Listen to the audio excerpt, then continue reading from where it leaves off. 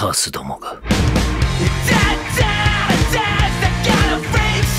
Hola, soy Bash. Y hola amigos, bienvenidos una vez más a nuestro canal. Y bueno, el día de hoy, como ya es costumbre en el canal, les traigo nuevo preguntas y respuestas de Shumatsu no Valkyrie. Así es, estamos observando una de las mejores batallas del manga, por lo que sin duda alguna la comunidad nos dejará preguntas bastante interesantes. Así que estaremos respondiendo algunas de ellas. Pero bueno, ahora sí, sin nada más por añadir, comencemos de una vez. Y la primera pregunta es dejada por el legado de Iron Man que nos dice, pregunta, ¿crees que en este punto de la historia del Ragnarok aún puedan aparecer más personajes que terminen ayudando de alguna manera a la humanidad y me refiero a ciertos personajes que en la mitología hicieron cosas a favor de los humanos como Prometeo, Epimeteo e incluso dioses como la misma Atenea quien se supone que es la protectora de la tierra. Podrían intervenir en cierto momento, saludos Pokedra. Y bueno, la verdad es que como sabrán, ya hay un dios que por diversos motivos se puso del lado de la humanidad. Así es, estoy hablando del mismísimo Buda. Por lo que sabemos que es posible que si un dios lo determina pueda participar a favor de la humanidad. Aunque directamente dudo mucho que lo de Buda se repita, ya que fue un caso especial. Aunque algo que me gustaría ver y sería muy interesante es que algún dios decidiera hacer Volum con un humano. Obviamente si nos encontramos en una situación bastante complicada para la humanidad, donde el dios pareciera invencible, poniendo el caso por ejemplo de Zeus, tal vez algún dios que estuviera del lado de la humanidad podría unirse a este humano. La verdad es que ese sería un giro bastante interesante,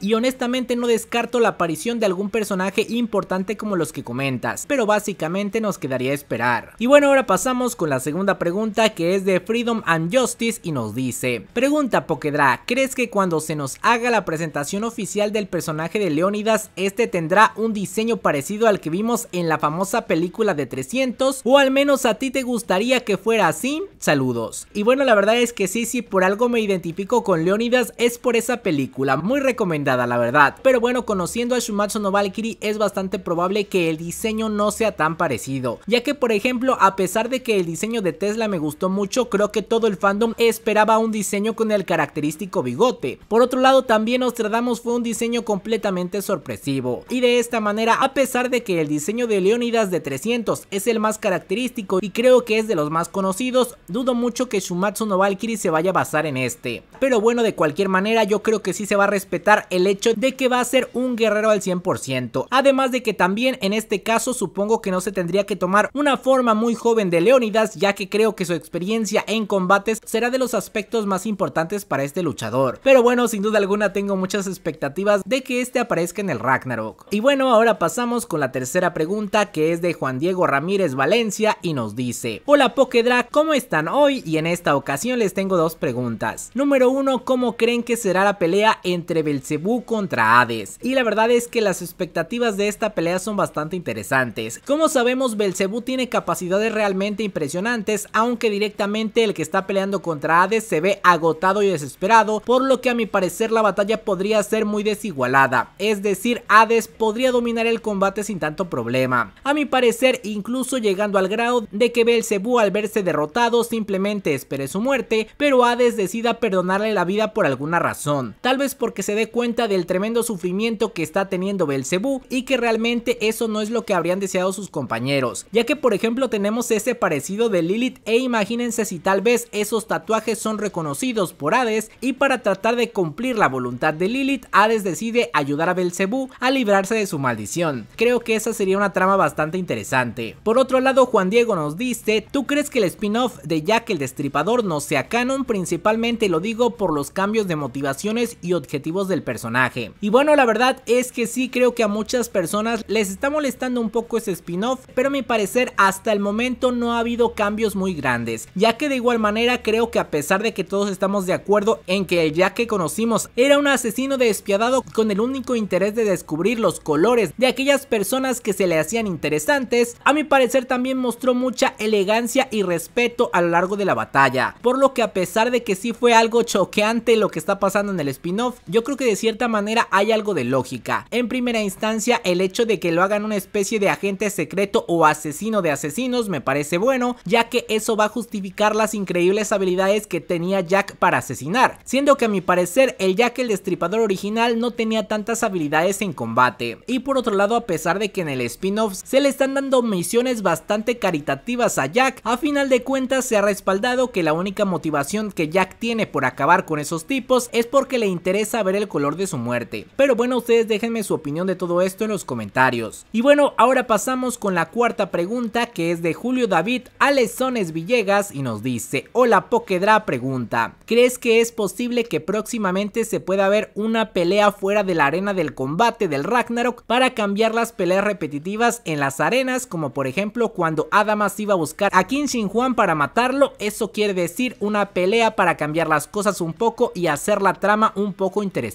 Y bueno, esto que comentas la verdad es que sería bastante importante, sobre todo ahora que como sabemos un humano está sobrando, por lo que podríamos ver el combate de un humano fuera del Ragnarok para que de esta manera podamos ver las habilidades de este personaje, pero sin necesidad de participar en el Ragnarok. Obviamente él tendría que enfrentarse a un dios que no esté listado en el Ragnarok para que la lista pueda arreglarse, pero creo que no debería haber mucho problema con eso ya que hay varios dioses que me gustaría ver en combate y que no están clasificados en el Ragnarok. Además también como sabemos todavía falta la llegada de Siegfried el cual tiene bastante potencial para ser un peleador, por lo que alguna pelea callejera podría arreglar las cosas en cuanto a la lista de peleadores. A mí honestamente me gusta mucho la posibilidad. Pero bueno, ahora pasamos con la quinta pregunta que es de Zoro Arc Excelier y nos dice buenas Pokedra preguntas. Número 1, ¿crees que al ver el tremendo poder de Tesla, Belzebú piense que este último puede acabar con él? Y bueno, la verdad es que yo creo que sí, es posible que Belzebú sienta la esperanza de que Nikola Tesla puede asesinarlo, y esto se nos va demostrando poco a poco después de ver la sonrisa de Belzebú, el cual a pesar de estar peleando con todo lo que tiene, ya recibió un enorme daño por parte de Nikola Tesla, aunque independientemente de lo que pueda sentir Belzebú, creo que a final de cuentas Tesla tendrá que enfrentarse con Satanás, siendo esta la batalla principal y en donde se va a definir todo, pero bueno ya veremos qué es lo que sucede con este aspecto, pero lo que yo deseo es que incluso si Nikola Tesla pierde, por lo menos logre liberar a Belzebú, a mi parecer esa sería una victoria moral por lo menos. Y bueno, ahora pasando con la segunda pregunta de Zoroark nos dice, ¿es posible que en algún momento del combate Belzebú vea los espíritus de sus compañeros caídos, Lucifer, Azazel, Samuel y Lilith? Y bueno, la verdad es que yo creo que sí, hasta el momento esto ha ocurrido en todos los combates, por lo que creo que es lógico que también ocurra con ellos, a menos de que como dije, en algún momento se nos diga que el hecho de que Satanás los mató significa que sus almas están atrapadas, y hasta que Satanás no caiga, ellos no podrán ser liberados. Eso sería cruel, pero también se me haría bastante interesante. Y bueno, ahora pasamos con la sexta pregunta que es de Fénix, el guerrero inmortal que nos dice, Pokedra, ¿crees que cuando sea el turno de luchar de Loki, este será derrotado, obligando de alguna forma a su padre Odín a actuar de inmediato en sus planes de complot para derrocar a los dioses olímpicos, como tanto se ha rumorado desde que inició el torneo del Ragnarok? Saludos. Y bueno, la verdad es que esta pregunta se me hace muy interesante,